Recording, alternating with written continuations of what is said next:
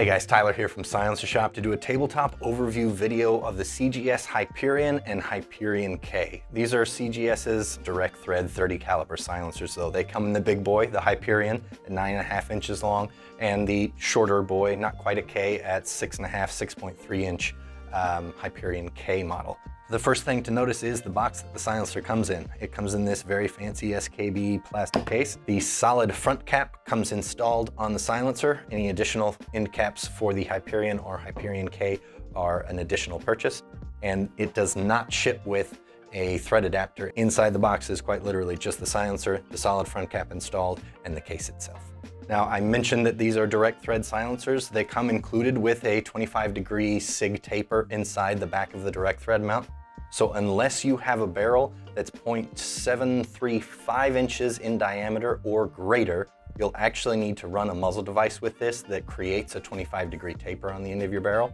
So if you've got a big thick bull barrel on the end of your rifle, this will go up on there and the 90 degree shoulder on the back of the silencer will hit that barrel. But if you've got a barrel with a diameter less than that 0.735, you'll actually get the shoulder of the barrel inside this tapered system, which will either be really bad for the radius on the outside of your barrel, uh, or for the interior of the silencer, whichever metal happens to be stronger. If you don't have a barrel with enough meat on the bone, CGS makes the Hyperion thread adapter that will turn any barrel of any profile with 5 8 by 24 threads or half by 28 threads on the end of it into that 25 degree taper and 5 8 by 24 threads. So you can put this silencer on any rifle with a barrel less than that outer diameter but you will need to add an adapter that will add, give or take, three quarters of an inch overall length to your system. Both of the Hyperions are DMLS 3D printed out of a grade 5 titanium. Uh, the reason I bring that up is there's some interesting research being done on DMLS. The tensile strength of the metal that that creates can in some instances actually be stronger than just bar stock alloy steel or in this case titanium.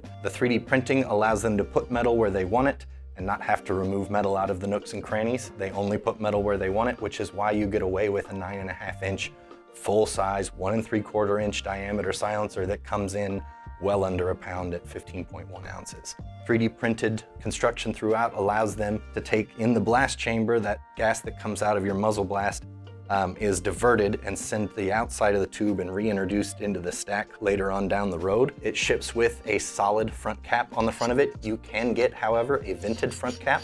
There are some vents inside this that again allow this system to bleed off gas. So it comes as a quiet as can be silencer with a tapered front cap on the front of it, but you can bust that front cap off, run a vented front cap, and turn this silencer into a low blowback, if you will, low back pressure silencer, if that's something you're worried about. What I tell most people is, if you're getting the full size in particular, or even the K, um, put this on your rifle first and see if you have gas problems. Typically, if you have gas problems, we're talking about 5.56, so that 30 caliber bore aperture is gonna be venting a lot of that gas for you.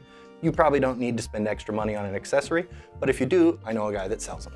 Both of the Hyperions, as well as a couple of the other CGS silencers, boast a boron nitride or S-line PVD coating on the inside of this metal, inside the baffles, that actually reduce the amount of buildup you get into a silencer.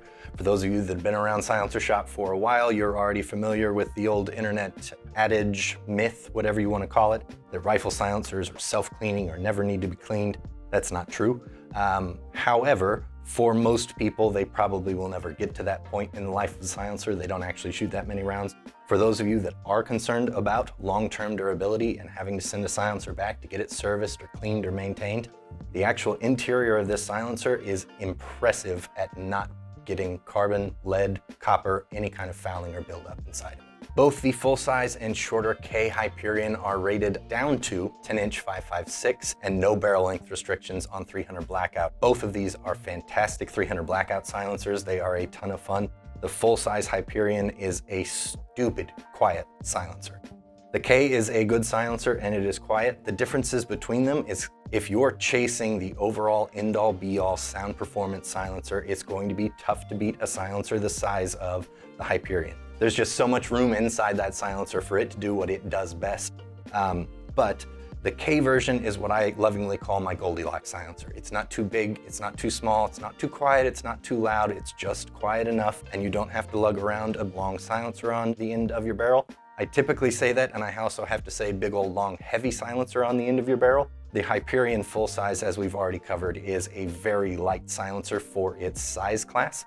The K is also very light for a six and a half inch silencer, but that's kind of my difference between the two. The full-size Hyperion comes in at nine and a half inches long and 15.1 ounces in weight. The K comes in at 6.3 inches long and 10.2 ounces. Both of these are a one and three quarter inch outer diameter at the widest point.